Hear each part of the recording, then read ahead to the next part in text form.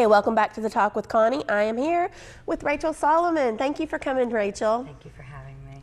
I am so excited to be talking to Rachel and having her share her story with you because, as I mentioned earlier, Rachel is the person who came up with the whole idea for the tile wall. So tell me, if you will, how that came about. Um, it was kind of a, an evolution. Um, last year, I worked with one class and we developed tiles. And I saw how impactful it was for the students that they created these tiles and you know just they there was so much emotion in those tiles. And so this year um, i really wanted it to be a bigger project. Um, several of the language arts and social studies teachers um, had a great, rare opportunity to go to Chattanooga and listen to Eva Schloss. Wow, and that is Anne Frank's stepsister, right? Correct. It- Otto Frank married mm-hmm. after his daughter and wife perished. Mm-hmm. He remarried, and Eva would have been her stepsister. Okay. So it was posthumously. Yeah. But she grew up, I'm sure, hearing from Otto all of the stories Yes. about what happened. Exactly. So was that amazing? It was truly amazing. Um, it was inspiring. Here's a woman who was in her 90s and had recollections and memories that just were impenetrable. She was, and she was funny and she was jovial. And, you know, she just presented it in a way, you know, telling us the fun parts, and, but the things that also moved her and moved her heart. Sure. So after that, um, I wanted to do something more. And so I said, you know what, what if we did this same tile project, but the entire sixth grade? Right. So we collaborated as a team, the entire sixth grade um, teachers, and came up with a tile project. And so, you know, we had sessions back and forth. We can do it this way, this way. But the, the goal, one of my goals was I wanted to present it in a way that the entire school would see it and beyond. yeah. So we looked at different mediums. We certainly could not use can, uh, hard ceramic tiles. Yeah, because they would break. Uh, They would break and we would ruin the walls, right? Oh, right, right. yeah. So it came up with canvas tiles. And so we put together six by six canvas tiles. However, we didn't have the money for it. And a dear friend of mine encouraged me and said, You really need to ask for a grant. And so I did. I went to the chat. And who was that friend? well, that friend happened to have been Jed Mescon. Yeah, okay. So Jed and I and I actually hesitated and said, I, "No, no, no, no, I can't do that." And he said, "What are you kidding me? This is what it's about. This is why you have to do this because at New Hope Middle there are no Jewish students and there were no Jewish teachers other than myself. Yeah. And so he said, "No, this is you have to." And so, you know, the federation does not just donate to Jewish causes; mm-hmm. it donates to people all over the world, literally. And so, they enthusiastically um, said, "We would love to sponsor That's this amazing. project." Did anyone come out and look at it? Yes. Oh, wow. Yes. Well, unfortunately, the director and the um, president was actually in Israel at the time, so they couldn't come. But we had um, the um, the I'm sorry, now I can't remember what Anne's title is, but I think she's the art director, and um, she just creates a lot of um, artistic exhibits and programming, and just an all-around amazing person. Sure. Um, and also, Chen came out, who is our Israeli emissary. And so she came out also to visit. Wow.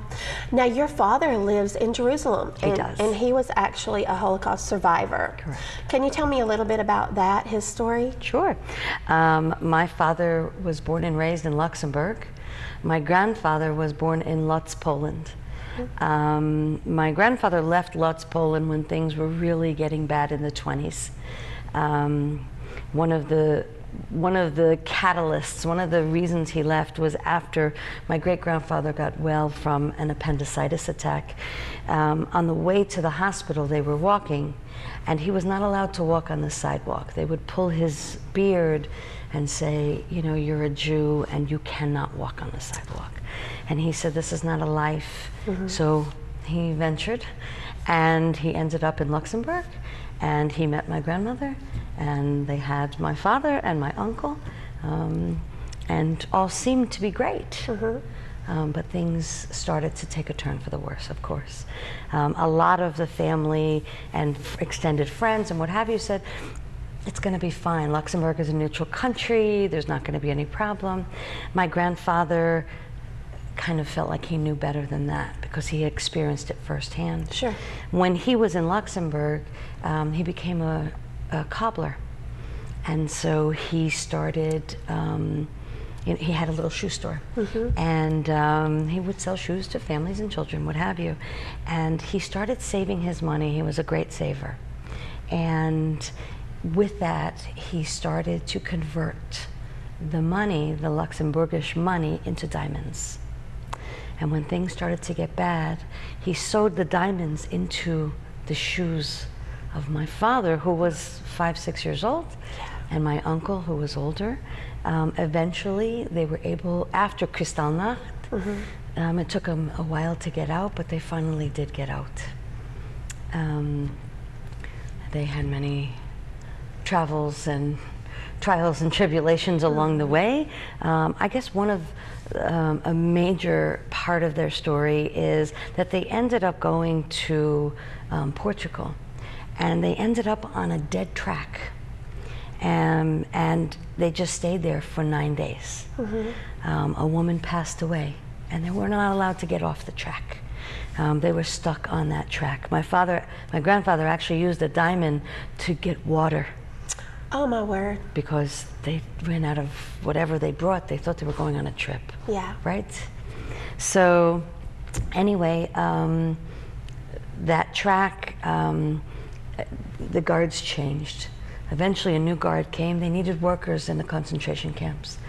And the leader of the, the um, car where my grandfather was with his family um, said something to the SS guards. And he said, You don't want this train because um, it's all women and children. We're all just women and children. And of course, he was retaliated and beaten up very harshly.